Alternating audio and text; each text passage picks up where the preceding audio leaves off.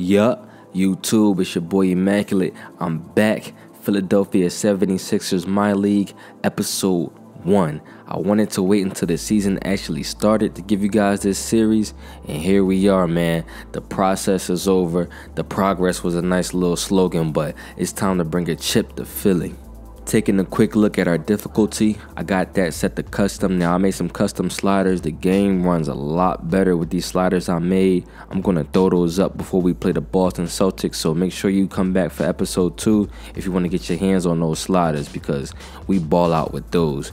Simulated difficulty, trade negotiation, and contract negotiation. We're gonna set that all to 100. We accept all challenges. This game can't stop me on the court, so you know, hopefully the computer can jump in and give us a little bit of a challenge. Also, you know, we gotta touch the injury frequency because 2K be tripping. Okay, first things first, we're gonna go into our front office and we gotta get this guy up out of here. C minus offense, bye bye. Now we gotta find us an assistant coach that's a little bit more offensive minded, cause Brett Brown basically he got the defense in the bag. So we did some looking around and we landed on Benjamin Walker. B minus offense, A defense, and an A potential with a balanced system. I think he'll work really well in the Sixers organization. We're going to give him an offer of four years, 857K. Taking a quick look at our untouchables list, we got I mean, really no surprise. Joel Embiid, Ben Simmons, Tobias Harris, Josh Richardson, and the young boy Matisse Thybulle. Now, I know what you're thinking. Isn't there somebody missing from this list? And you're right. You're thinking about your boy right here. Big Al, boy, you gotta go. I know what some of you guys are thinking. Is he crazy? Yes. But I mean, Al Horford, I, I respect him as a player. You know, he, he's solid, but he's not the kind of player that I like to play with in 2K. And he's been on the Celtics for so long, it's just like, ugh, I don't want any Celtics on this Sixers team. No way. No way at all. But I mean, honestly, we all know the real reason why I don't want to rock with him anymore is these numbers right here. Boy, I mean, my God, look at these numbers. Until he's 36 years old? No, no way. This wasn't me. I didn't do this. I have no ties to Al Horford. Y'all saw by the thumbnail. I mean, that was a big enough hint. I probably didn't think it would come in the first video, but yeah, Al Horford, you, you gotta go, bro. So here's the proposed trade. Al Horford to the Dallas Mavericks. In return, we're going to get Dwight Powell and four second round picks. And I know you're probably thinking, this this makes no sense. Like, you're losing a lot for only Dwight Powell and four second round picks. But I don't think so because we're going to go get Gary Harris from the Nuggets. Now, what we want from Gary Harris is six man of the year. So the Nuggets, they're going to get Raul Neto, two first round picks and two second round picks from us, and they're also going to get Courtney Lee from the Mavericks. Now you may be wondering why would the Denver Nuggets move on from Gary Harris, and it's pretty much because of this guy right here, Malik Beasley. Last year had a really good year, only averaging 11 points, but you put him in that starting role, you can expect those numbers to go up. He shot 47% from the field, 40 from three, and 85 from the line. This is the last year of his deal. He's up for a new contract. I think they move on from Gary Harris and give pay that man, pay that man Malik Beasley. Even in real life, even if they don't move Gary Harris, I think they're still going to hold on to Malik Beasley and give him some good money going forward. And he's definitely trending up for them, while Gary Harris is unfortunately trending down for the Denver Nuggets. And I know you're thinking, why would you want a player that you just said is trending downwards? But if you look at Gary Harris, I really believe in him. 16 17 season, he shot 50% from the field, 42 from three, only 77 from the free throw line, but we're not really worried about that. But look at those like 50 and 42. That's really good, really good efficiency. The year after, he took a little drop, 48 and 39, and he also took another drop, 42, 33. Like I said, he is trending downward, but his minutes have been depleted. And um, Jokic coming on the scene, Jamal Murray playing a lot better. You know, it is really not his team.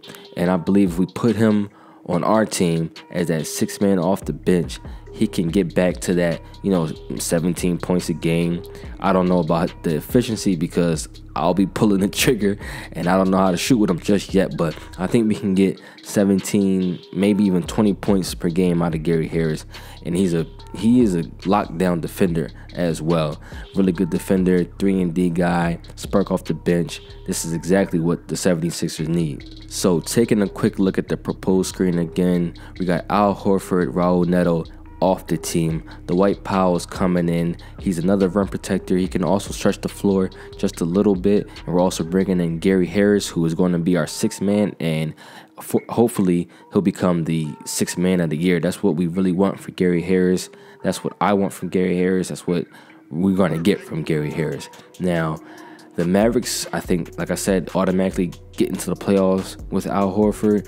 The Denver Nuggets, I could see. I wouldn't say they win or lose this trade. They pretty much just it's pretty neutral. The Denver Nuggets will stay right where they are, where they always have been. And when you look at the history of the league, the Denver Nuggets, they always have been where they always have been. They're a middle of the road type of team, good team, playoff team, but they pretty much just stay stay exactly where they are.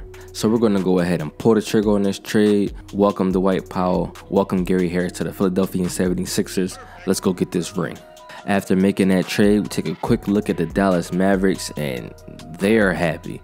Luka Doncic going up, Porzingis going up, Al Horford going up after just being traded. So I think this is a win-win for all the players involved and for the Sixers and the Mavericks.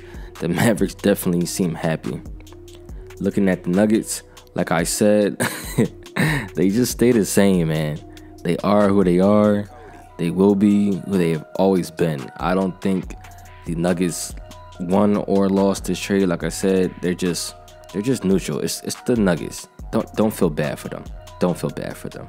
On to our rotations. Ben Simmons starting at the point guard, 36 minutes per game. Jay Rich at the two, Tobias at the three, 32 minutes for both of them. Dwight Powell will be starting next to Joel Embiid, 26 minutes for him, 34 for Embiid.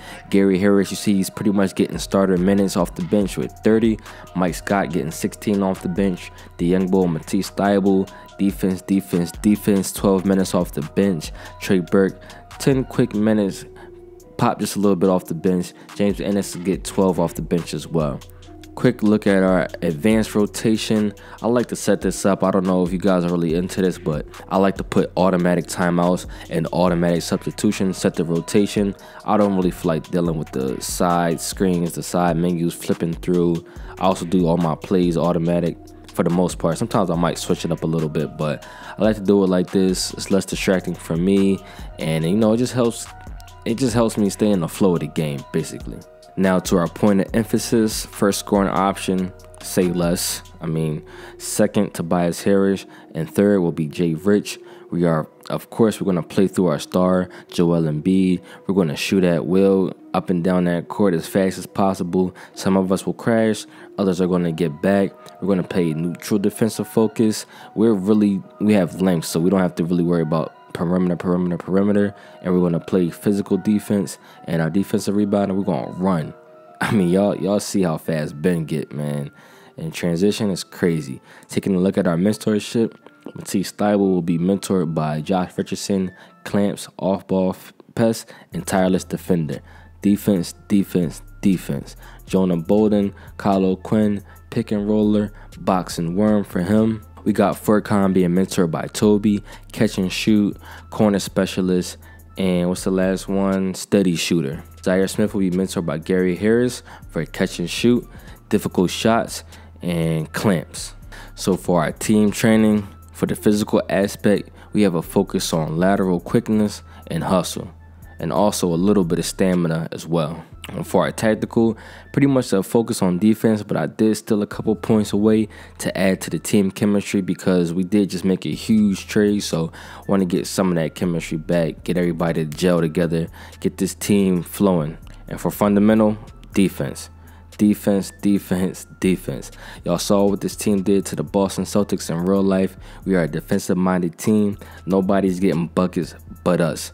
I hope you guys are excited as I am to get this series rocking. We're trying to go 82 and 0.